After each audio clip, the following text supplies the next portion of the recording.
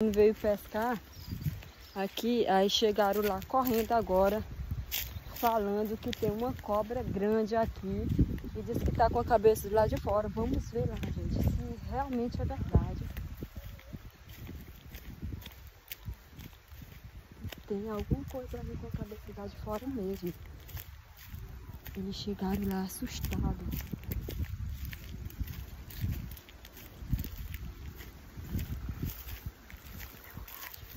Gente, é uma cobra. Tá parecendo uma sucuri, minha comadre. Meu pai, compadre, é uma cobrona. É não, meu pai.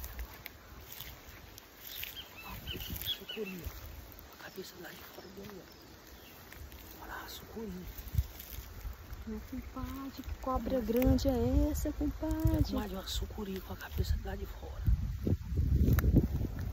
Você já tinha visto uma sucuri massa dessa? Tá só com a cabeça lá de fora, tomando sol. Tá tomando sol, compadre. Vai Saiu, mais sabe o perto, mais perto, só ver. Sabe o que é, compadre? Comeu alguma coisa grande e não tá conseguindo nem sair do lugar. Tá, comadre. Eita, compadre. Não, sumiu, sumiu na água, tá vendo? Eita, Tá, comadre. compadre. Se ela pegar o menino aí é perigoso, compadre. Esse açude tá cheio de peixe grande.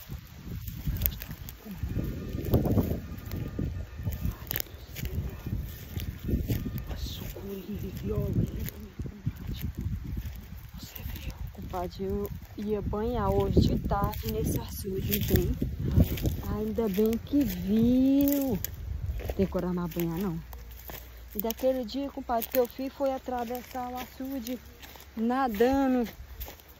Minha comadre do céu. Você tem coragem. Minha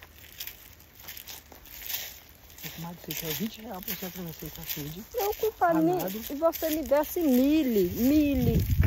É porque eu gosto de dinheiro. Ah, Mas a minha vida eu gosto mais, compadre. mil e conto. Tem coragem, não? De jeito nenhum. Mil e conto, amado. Eu tenho três galinhas grandes, gordas lá em casa. Hum. E o galo. Eu lhe dou para você atravessar o açude. Hum.